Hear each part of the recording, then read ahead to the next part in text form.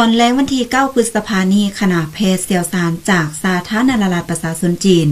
น้ำโดยฐานนางเกิงเจียเวยพร้อมด้วยเซลสารและแพทย์หมอได้เดินทางมาเคลื่อนไหวเสยเหลือ อยู่ในการสกัดกัน้นการแพร่ระบาดเสื้อพยาธิโควิด -19 อยู่แขวงอุดมไซพิธีต้อนรับขณะดังกล่าวได้จัดขึ้นอยู่ที่ห้องว่าการปกครองแขวง ต่างนาองค์การปกครองแขวง ออกต้อนรับโดยทานดรหุมพันธ์อินทมงคลหัวหน้าแผนกสาธารณสุขแขวงอุดมไซห้องคณะสพกิจ เพื่อป้องกันควบคุม และแก้ไขการระบาดของพยาธิโควิด -19 ขันแขวง พร้อมด้วยคณะสพกิจ และพนักงานแพทย์ ของแขวง จากนั้นทีมงานคณะแพทย์เสี่ยวสารของสปจีน ก็ได้เข้าพบปะ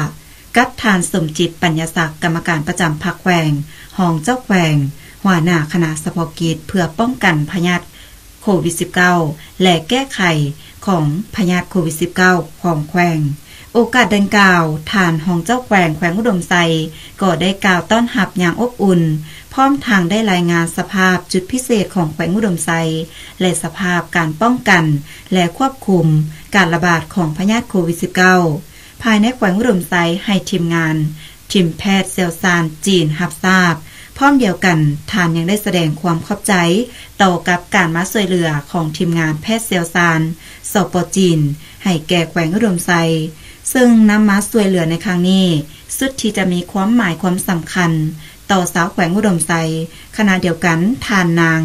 กึงเจียเวยก็ได้ตีราคาสูงต่อกับการต้อนรับอย่างอบอุ่น ของคณะการน้ำแขวงอุดมไซ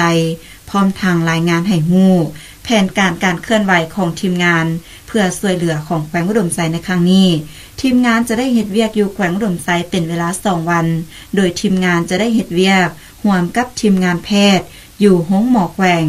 ในการกวดกาและให้คำปรึกษา เวียกการปินป่วติดตามเสื้อพยาธิโควิด -19 การควบคุมป้องกันการระบาด การเศร้าหาเป้าหมาย และกักกัน การนำไส้เครื่องมือ อุปกรณ์การแพทย์ทั้งหมดและอื่นๆ หลังจากนั้นทีมงานก็ได้เดินทาง ไปเฮ็ดเวียก ต่ออยู่แขวงลองน้ำทา